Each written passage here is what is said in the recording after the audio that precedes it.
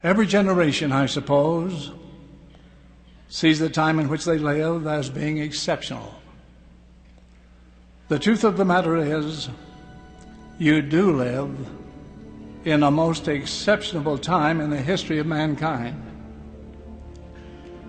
You young people will see events transpire which were promised from the beginning of the world. Prophets of old have seen your days and rejoiced in them. And yet you will face challenges and circumstances, the severity of which has been unparalleled in generations past. For this, you must be prepared. Today I speak to you about the times in which you live and about the quality of faith you will need to survive some of the difficulties yet to be experienced. I speak of one who loves you and has been given a responsibility with my brethren to testify and warn about the impending crises faced facing mankind. Yes, I speak to you to the topic Prepare yourselves for the great day of the Lord.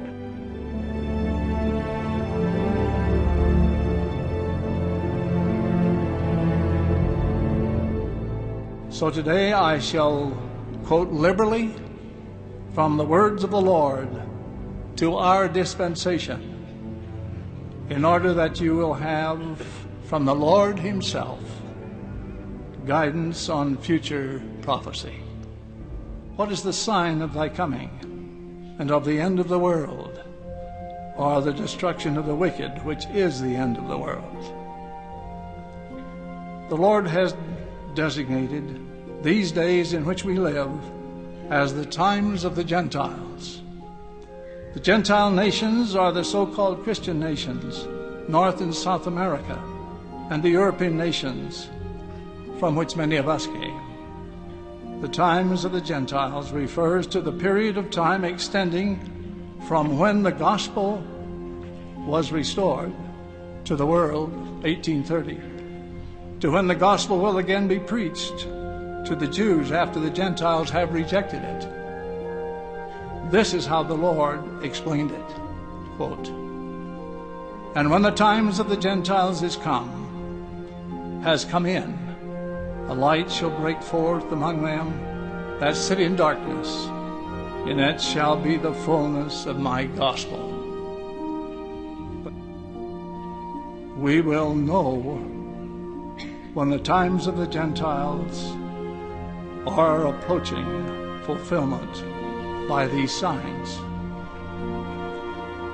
And in that day, continuing, shall be heard of wars and rumors of wars, and the whole earth shall be in commotion. Men's hearts shall fail them, and they shall say that Christ delayeth his coming until the end of the earth. And the love of men shall wax cold, and iniquity shall abound. And again this gospel of the kingdom shall be preached in all the world, for a witness unto all nations and then shall the end come, or the destruction of the wicked.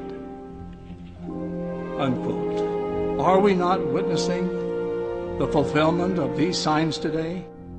Atheism, agnosticism, immorality, and dishonesty are flaunted in our society. Deserting, desertions, cruelty, divorce, and infidelity have become commonplace leading to the disintegration of the family. Today we live in the times of which the Savior spoke, when the love of men, as he said, shall wax cold.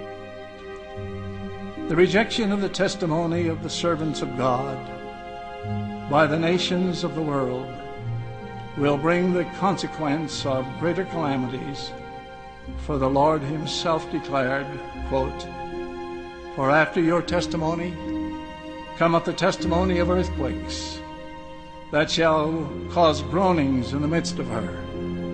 And men shall fall upon the ground and shall not be able to stand. And also cometh the testimony of the voice of thunderings, and the voice of lightnings, and the voice of tempests, and the voice of the waves of the sea, heaving themselves beyond their bounds.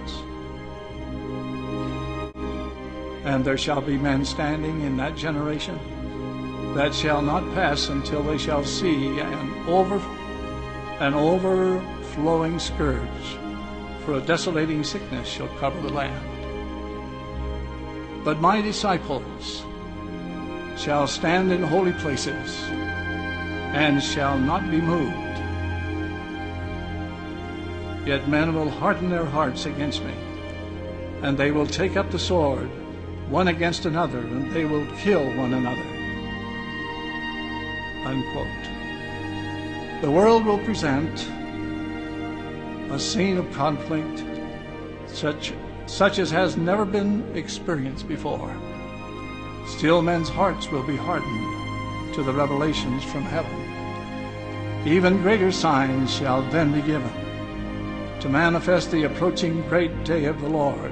Quote, and they shall see signs and wonders, for they shall be shown forth in the heavens above and in the earth beneath. And they shall behold blood and fire and vapor of smoke.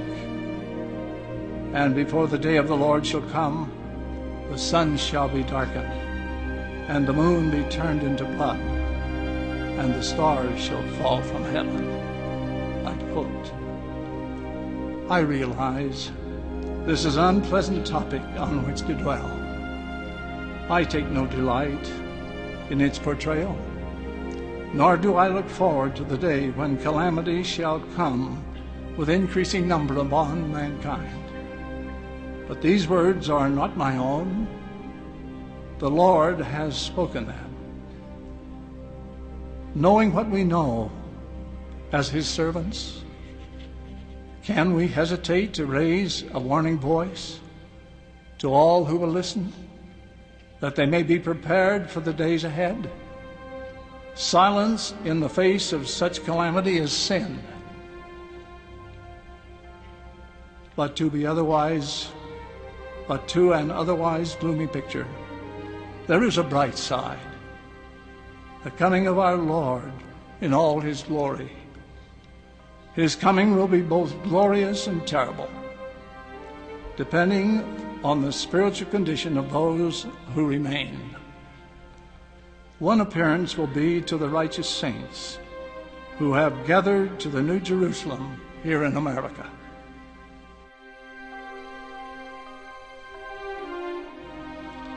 Another appearance of the Lord will be to the Jews. To these beleaguered sons of Judah, surrounded by hostile Gentile armies, who again threatened to overrun Jerusalem, the Savior, their Messiah, will set his feet on the Mount of Olives, and it shall cleave in twain, and the earth shall tremble.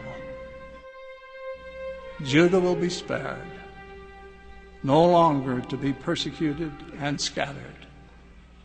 The Jews will then approach their deliverer and ask, What are these wounds in thine hands and in thy feet?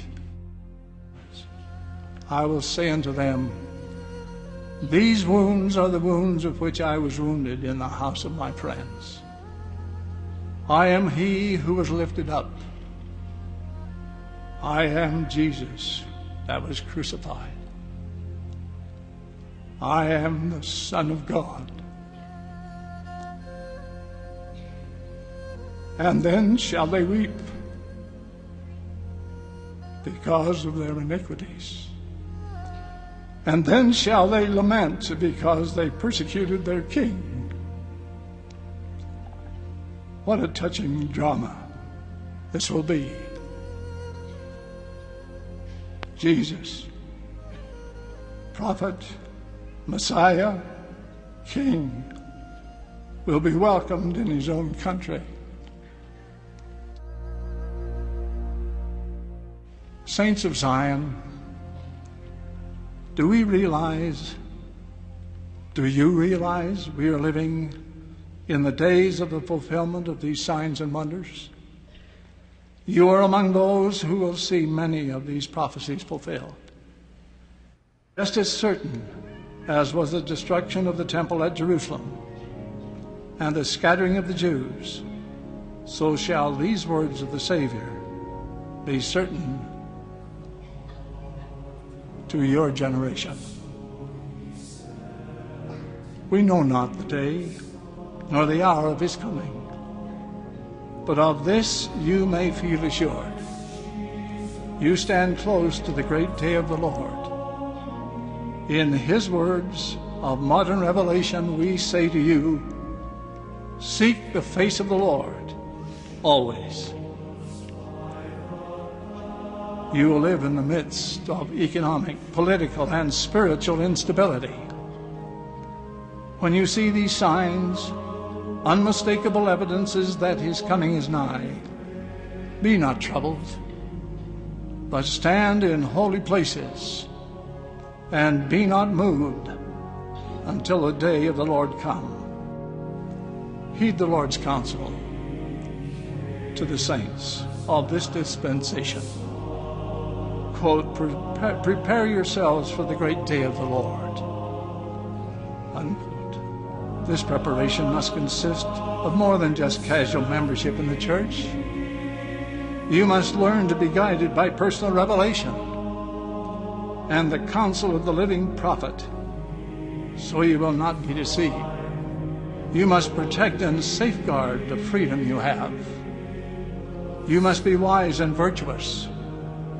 You must govern your natures by the doctrine of his kingdom. You must be valiant in your testimony of Christ by keeping all of his commandments. Will you be among those who are faithful to the end? Will you endure? Are you prepared? Can you live in the world and not partake of the sins of the world? Will you arise and shine forth as the Lord has commanded? Will you be a light and a standard for the nations? We know you can. We pray you will. We have every confidence that you, the rising generation, will not falter. I repeat, you are valiant spirits reserved for this exceptional time. Make the choice. Rise to the task of this momentous hour as a special witness of our Lord. I humbly declare to you that he lives, that he is close to his servants. His word shall not pass away. But shall all be fulfilled, whether by his own voice or by the voice of his servants. It is the same.